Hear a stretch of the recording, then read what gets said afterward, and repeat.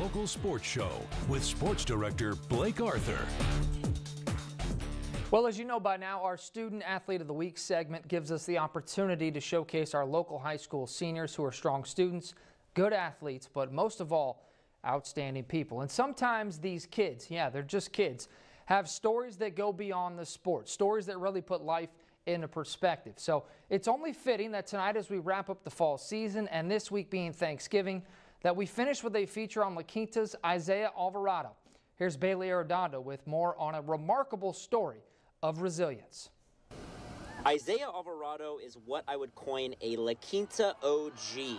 The senior running back has been around the school and football program since he could remember. Growing up, yeah, I used to come to the games with my sister. She came here. I would see Turbo, Benji. I grew up with all those guys, Justin Anderson, uh, Mike Avina.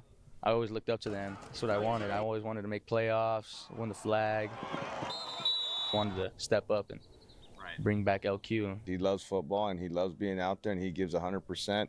And, you know, that, that's what we're looking for in, in our football players. And he's a great example to all of them.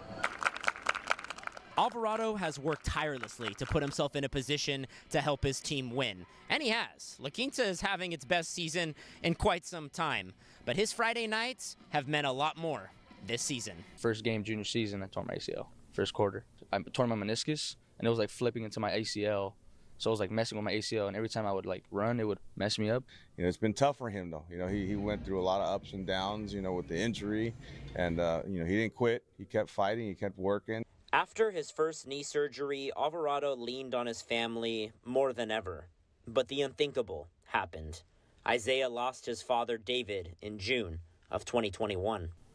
Sixth grade was when he was diagnosed with stage four prostate cancer, and my grandma was taking care of him.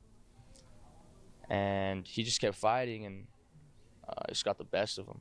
Yeah. Took him five years strong fighting. Alvarado says he has never felt an emptiness like this. Life's over. Right. I grew up like playing football. It's everything I ever wanted. I wanted to play for him. What, what kept you pushing? What kept you motivated? Um, mostly just my mom. Like my mom was always there right next to me, like making sure I needed everything. My family, I just didn't want to let them down. They all looked up to me. Alvarado honored his late father with the date and time on his backplate this season.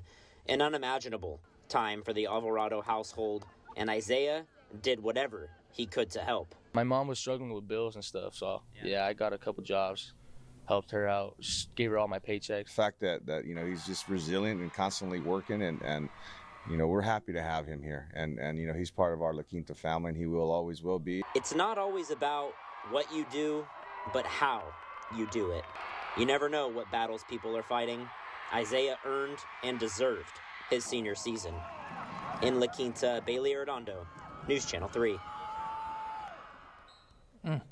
Wow, Bailey, thank you so much. Amazing story on an extraordinary young man. Guys? And his father would be proud of him, I'm sure. He sure would. Yeah. Thank you, Blake.